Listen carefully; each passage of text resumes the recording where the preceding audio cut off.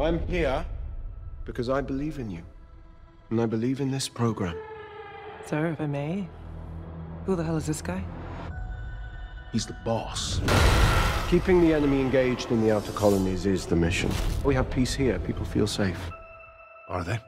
I know this enemy. It's here. I saw it. What is it you want from me? There is a plan in place, but it's going to require some hard choices.